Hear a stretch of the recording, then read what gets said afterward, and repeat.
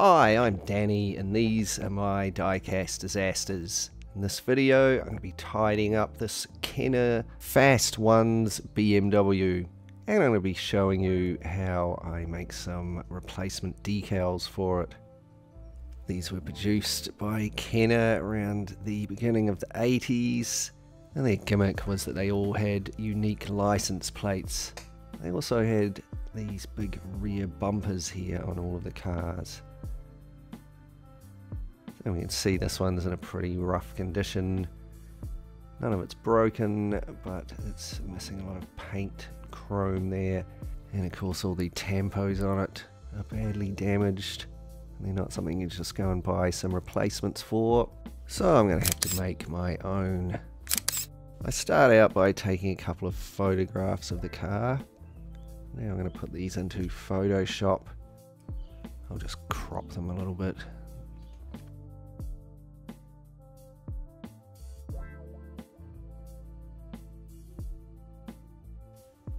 Now I can zoom in and I'm going to basically use the pen and select tools to select the designs.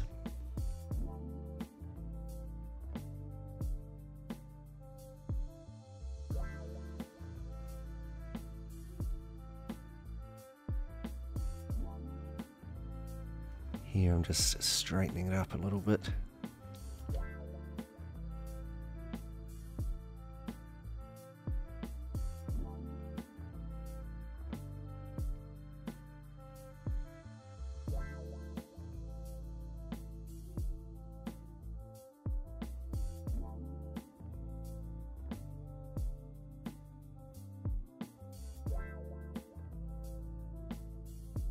I'm just using the pen tool here to get the curves.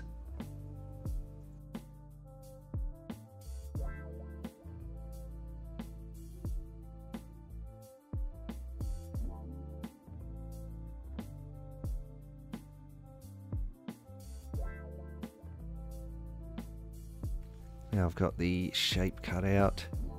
I'm going to cut out the individual coloured parts and then repaint them.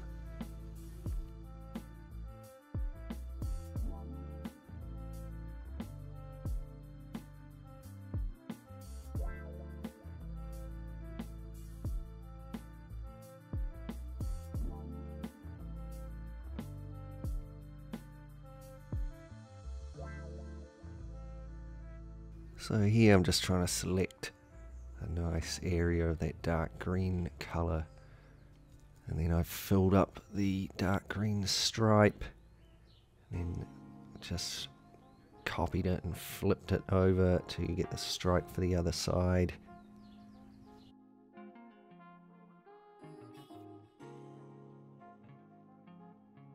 And the same thing again, I'll select the light green stripe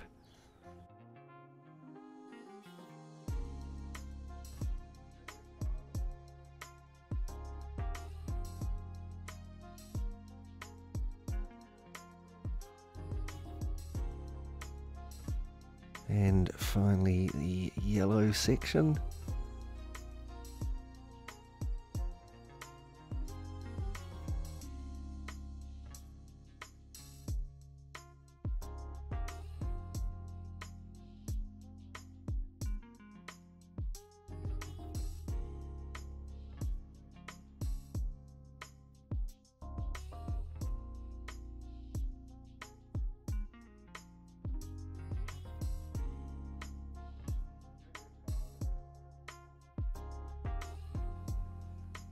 Okay, so there's all of our stripes repainted. Now I'm just going to go through my collection of fonts, try to find a similar one to that 3 there. Remember you can always get heaps of free fonts online for projects like this.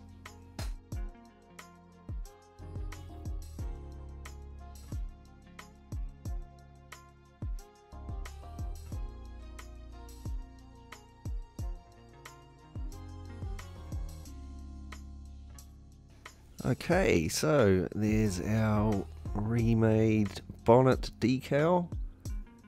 I'll just repeat that process with all the other parts. Now I'm going to take the measurements off of the car and I'll be able to resize the decals. So yeah, I'm just resizing the bonnet.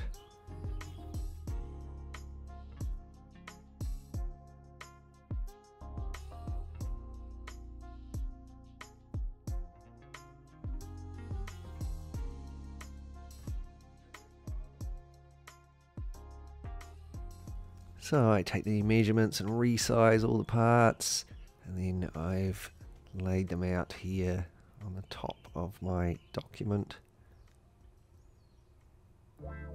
and I'm going to print them out. So these are the print settings I'm using. Plain paper and high quality setting and I've done them at the top of the document so that I can cut them off and then reuse the decal sheet later. And I just use an Epson XP440 inkjet printer. So first of all I'm going to print out my decals on a plain sheet of A4 paper. Then I can cut them out and just test that they're going to fit correctly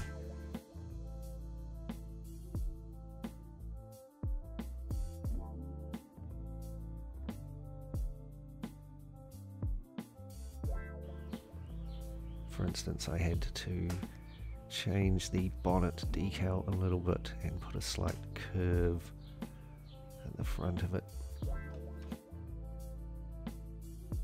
Once I know that all the decals are going to be the right size, I can print them out. Now, I was using this tester's decal paper. You can get it in white and clear, sort of an odd sized sheet and it's quite expensive. It's about 20 to 25 dollars New Zealand for five sheets there. And this is the decal paper I've started using. This is from AliExpress. It's from China. You get an A4 sheets. I think it's cheaper for a packet, and there's 20 sheets in there.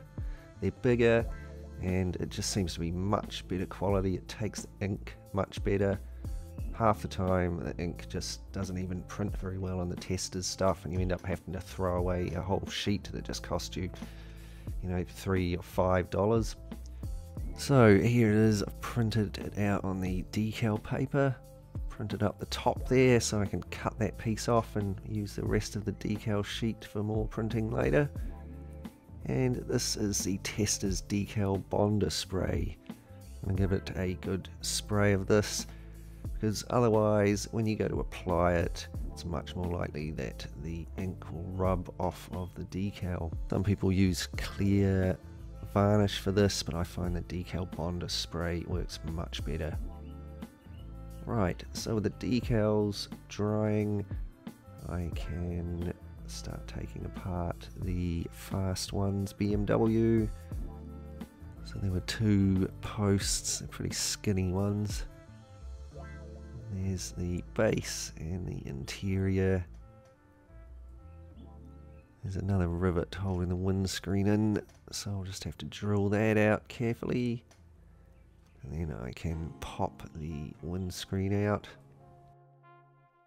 Oh, there she goes.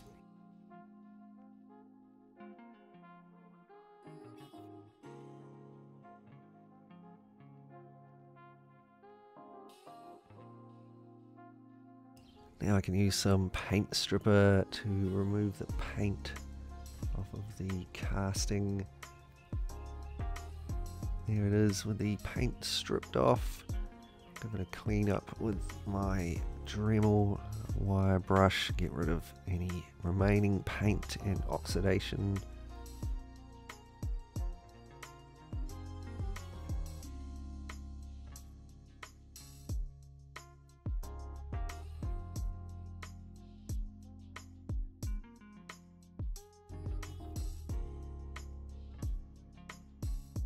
I drill and tap the posts It's ended up a little bit rough because I really needed a smaller drill and tap.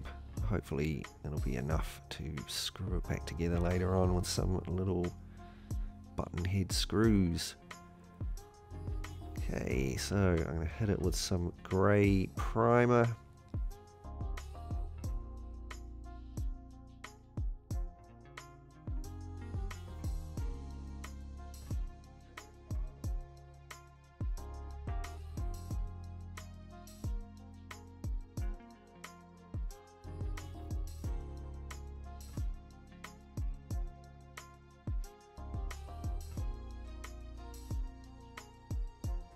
And then I gave it a couple of coats of white. And of course it's easier to paint some white over a grey primer so that you can see where you're going with it all. If you use a white primer, it's a little more tricky.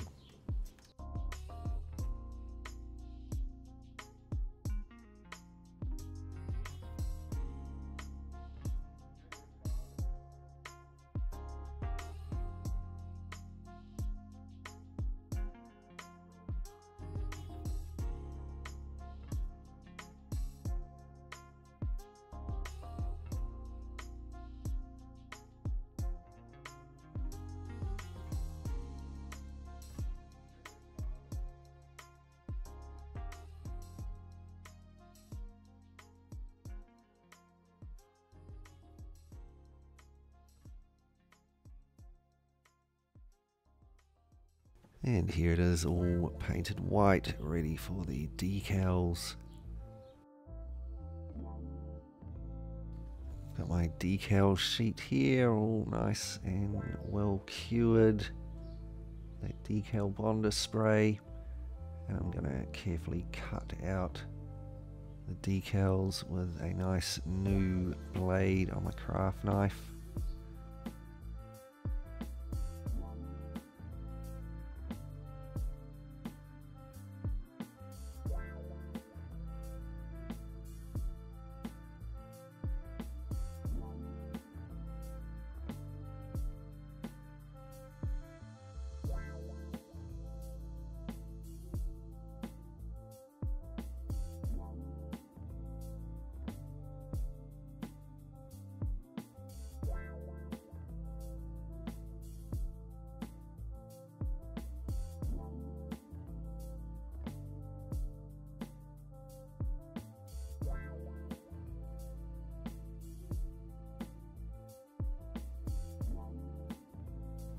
And then once I've got all my decals cut out, I can apply them onto the car.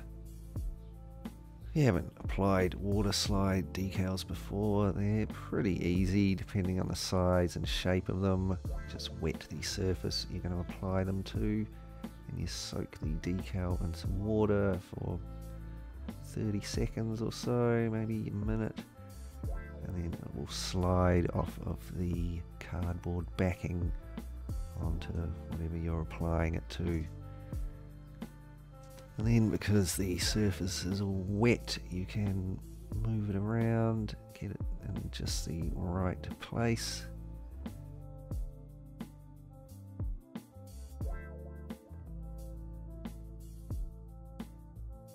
Then I'm going to use my cotton bud here and a rolling action so I can roll out any air bubbles that are in it. Make sure that it's all smooth. Just the same technique to apply the other decals. The trickiest ones were the sides as they were quite an odd shape. Often you'll get a bit of the decal which will fold over and stick to itself and you won't be able to straighten it out or you'll get some of the ink rub off or you can even sometimes stretch the decal and damage it and so that's why I printed quite a few copies of each design because inevitably you are going to mess some up.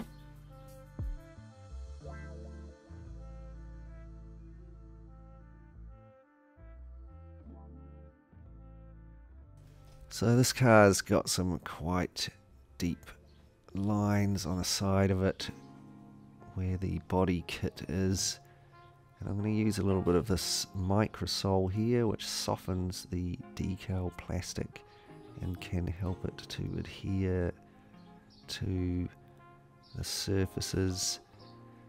But at the same time, I think if you can get away without using this, then don't, because it can also just melt the decal and rub the ink off and make a jolly old mess of things if you're not really careful.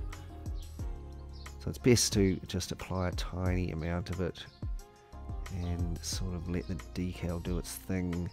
And if you need to use some more, again, wait till it's sort of well dried. Okay, so I finished that all with a gloss clear and leave it to cure. I can move on to the base here. Just take out these old wheels.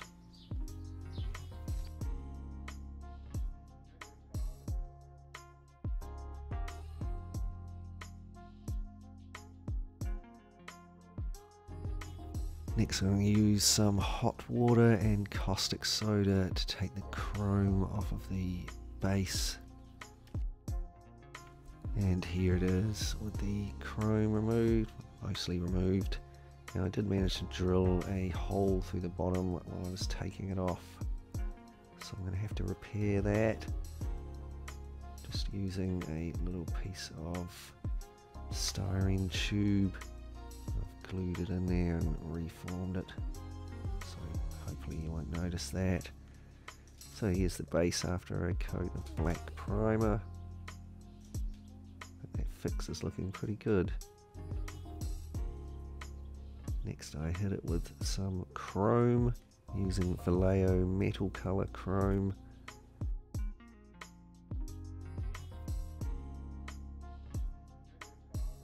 And I've detailed those big rear lights with some clear red. Okay, so we're nearly there. The interior and the windscreen here. They're both a little bit grubby, so I gave them a wash and some soapy water. The window's a little scuffed, so I give it a polish with some plastic polish. I think that's looking nice and shiny now. So that just leaves the wheels. Here's the original wheels. I could tidy those up, but I've got these nice aftermarket ones, and they are actually some Dunlops, so I think they're going to go pretty well with it.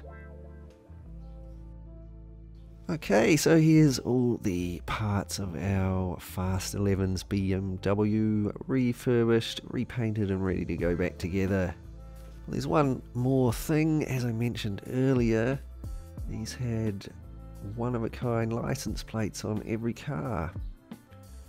See with these ones you got a free belt buckle as well. I couldn't actually find a close-up of any of the license plates so for my custom license plate, I've just printed out a Fast Ones logo. I've printed it on some A4 paper, cut it out. Then I'm going to use some PVA glue to apply it.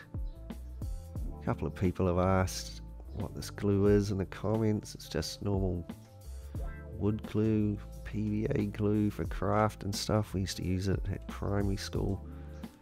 So I use a little bit of water to thin it down and then I'm going to use it to stick my license plate on and it dries completely clear.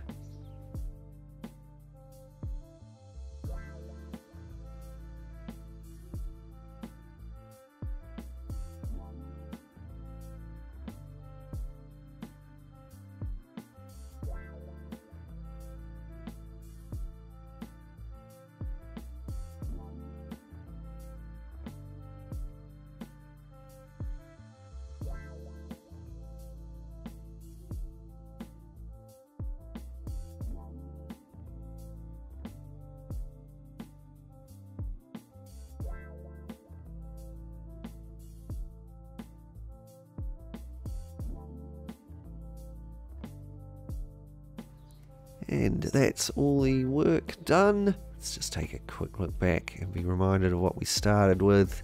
Here's our scruffy little fast ones BMW. Missing half its paint and tampos. It's all intact, but it's looking a jolly mess.